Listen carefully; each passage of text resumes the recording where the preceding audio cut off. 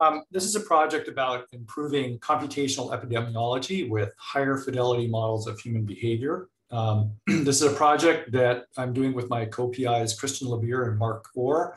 Uh, Christian's at CMU and Mark is at the University of Virginia. And we have uh, a larger cast of contributor, contributors that are working on all varieties of things ranging from natural language processing to uh, epidemiology.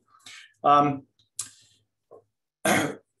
this project was motivated by the realization that last year we were in the midst of historically the most massive attempt ever to change uh, human behavior. And I'm talking about specifically non-pharmaceutical interventions uh, such as social distancing, hand washing, mask wearing, and now uh, vaccination. And um, decision makers and, and people who are trying to uh, uh, uh, manage public health um, rely on epidemiological models to forecast rates of infections and deaths and to try to understand what the possible effects are of these NPIs, these non-pharmaceutical uh, interventions. Unfortunately, a lot of these models uh, are not very detailed and have a huge abundance of uncertainty. Um, and to some degree, we believe that that's partly because they do not really have accurate models of how people respond psychologically and behaviorally to NPIs and to what uh, is going on in the environment around them. Uh, and just to give you a, concrete example, this is one of the many models that we've seen on the news uh, or on the web uh, over the past year. Um, it's a snapshot that I took in October. And uh, on the right-hand side of that graph is a projection for the, fall, the month following October when this was presented. And what you can see is this huge pink error bar around the prediction. And that uh, the difference between the top and the bottom of that confidence interval is, a, is an order of magnitude. And within that pink area, you could reasonably say things might go up, they might stay the same, or they might go down. So these models have a large degree of uh, uncertainty, and we are making the bet that um, by understanding and uh, modeling more, more specifically individual psychology, um, that we will be able to do better. And this is partly because I think we all believe that people's beliefs and attitudes and intentions and self-efficacy all have an impact on how they respond. And there's certainly um, evidence out there that that is the case.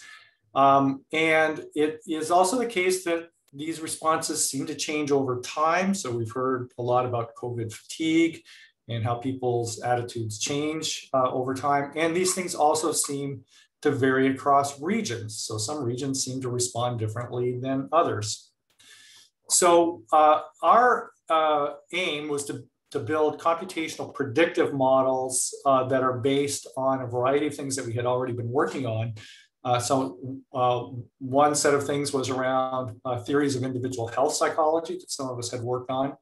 Another is um, a, a, large uh, amount of experience with a particular theory and computational modeling system called ACT-R, which allows us to build computational models of behavior change and to develop uh, agent-based uh, simulations. And so out of this, um, our goal was to develop what we call psychologically valid agents that uh, we could build into agent-based models that would allow us to accurately predict the dynamics of, of changing behavior over time and how those dynamics are impacted by these NPIs, by government messaging, mass media, social media, disinformation campaigns, etc. The theory itself, that's the core of our work, uh, ACT-R, is, is a constrained, very principled framework for modeling human behavior. It's a theory of the structure of the brain and the functioning of the mind. It's also a, a simulation environment. And it essentially says how the modules of the brain that uh, carry out uh, goals and memory and perception, how they operate together dynamically over time to produce uh, behavior. It allows us to model uh, both the symbolic knowledge that people have as well as their statistical adaptivity to the things that are going on around them. And it includes about 45 years of research uh, based in the laboratory, as well as real world applications, a lot of fMRI and EEG imaging uh, data. Um, and so one way to think of it is, is we're trying to build these individual level agents that can simulate the what we call the response profiles of people. Uh, that is, you know, whether they will in fact wash their hands or wear masks or social distance, or are they going to go out and party or go to um, uh, uh, go out uh, to restaurants. Uh, and these agents are going to be seeded with representations of individual level attitudes and beliefs and intentions. And then those agents will be embedded in an agent-based simulation of, of given regions and periods. And from that, we want to be able to predict uh, actual behavior that we will compare against some proxy measures that we have of behavior, including uh, mobility data from Unacast and uh, mask wearing data that's collected daily from uh, COVIDcast. And um, the way that we are seeding these models is using a variety of data that are out there already including these daily polling data sites. Uh, we're also doing a lot of analysis of uh, mass media and online information and uh, using that to, uh, to get representations that we think uh, characterize individuals in these different regions over time. So just to give you some examples, um, we're, uh, we're ingesting um, a data set called the Third Eye Chyron data set, which is basically a textualized version of uh, CNN, MSNBC, and all the other uh, major news networks. We've got access to a variety of uh, data sets of, of Twitter, including a geotagged COVID data set for the world. And our, our CMU partners have a system called CASOS, which analyzes data from the United States uh, in, in, great detail and at great volumes. And so here are some plots of pro versus uh, con tweet volumes in a variety of cities in California that we've collected. Uh, and we use uh, uh um, GPS mobility tracking provided by Unacast, as well as uh, day-by-day -day polling data about behaviors uh, from the CMU COVIDcast folks at Delphi. Um, so just to give you um, one thread of analysis that we're doing, uh, a bunch of folks who are doing natural language processing and machine learning over Twitter um, are inducing what we call stances, which are representations of attitudes, beliefs, and intentions from individual level tweets, which are then aggregated up to the users who are making those tweets.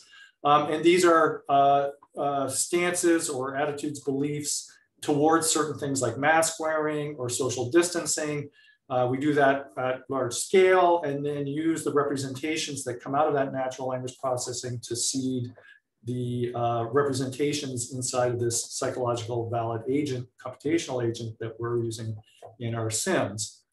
Um, just to give you some ideas of the kinds of behaviors or phenomena that we're trying to model, um, using our psychologically uh, uh valid agents, we are modeling a variety of phenomena. These are just a couple uh, on the left here, one phenomena that one sees over and over again uh, across the world is that uh, as the pandemic hit, there was um, a, a, great decrease in the uh, effective transmission rates down to around one. And then this kind of uh, dampened oscillation around, uh, around a transmission rate of one that seemed to indicate that people were adjusting their behavior to modulate that transmission rate.